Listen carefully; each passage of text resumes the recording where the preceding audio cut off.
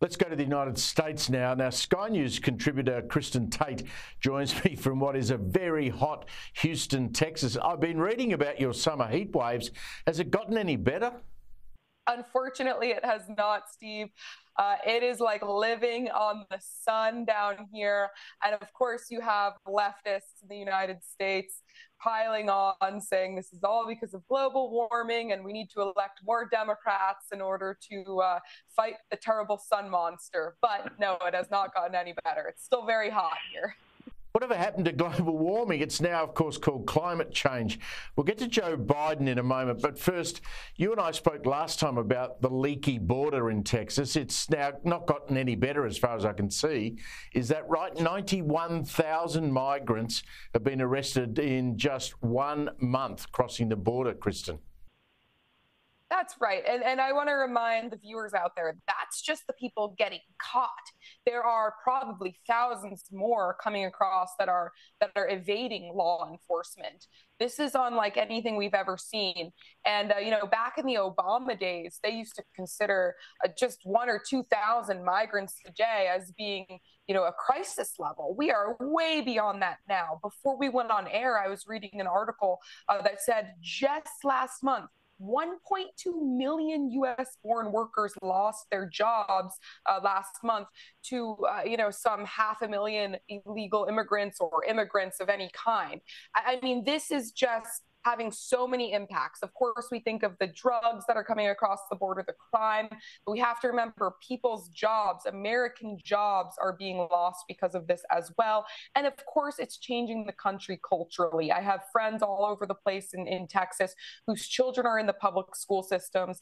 They tell me that large percentages of these schools now uh, are, are uh, non English speaking students at this point. It has gotten completely crazy. And soon, Steve, every US city will be a border town. It's not just going to be Texas anymore because these migrants, they're making their way north, and this is going to impact the entire United States.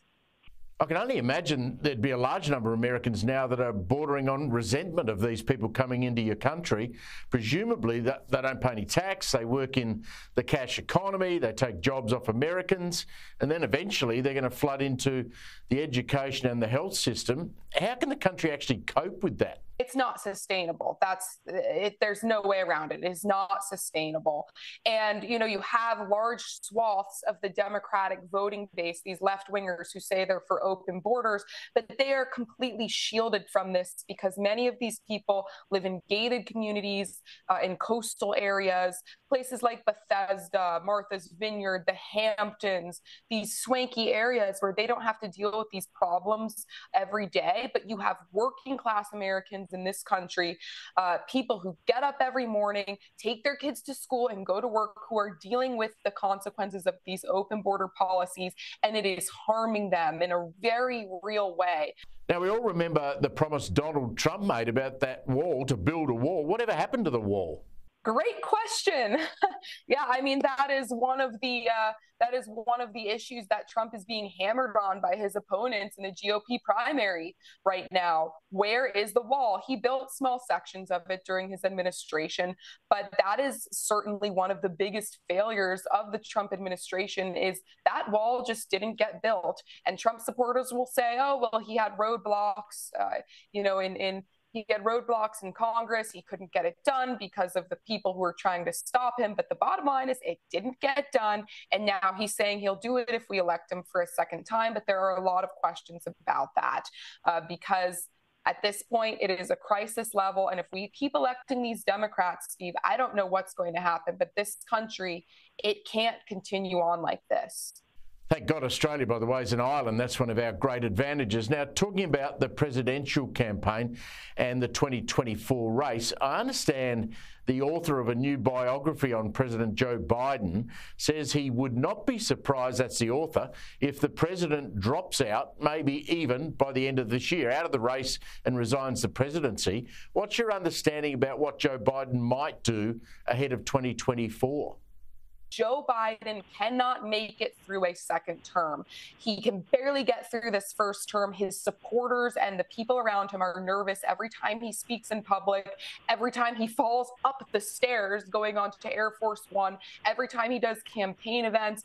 Uh, he is declining rapidly at this point. So the Democrats are in panic mode. They want to replace him. Of course, they can't do it right now because that would make him the lamest of all lame duck presidents.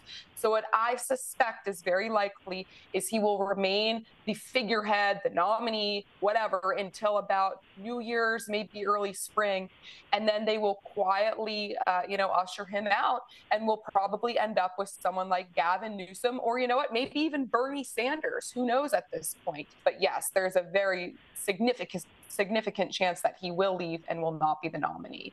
Just imagine if you and I were on a board for, say, uh, any company, uh, and the chairman was of the mental capacity that appears Joe Biden's currently is.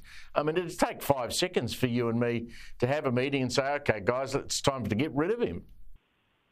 That's exactly right. And it's gotten to the point where many of the people who I know personally who are very strong supporters of Biden, even they want him gone because they realize that his health and his declining cognitive abilities are, are, are a huge liability. But not only that, Steve, it's happening at the same time that these Hunter Biden scandals are kind of gaining traction in the media and becoming harder to ignore. And it would be easier if he had a stellar track record to at least point to, but he doesn't even have that. The economy is kind of in shambles. You got inflation continuing, the border is wide open. So it's really a perfect storm for Democrats. It's a major disaster for them.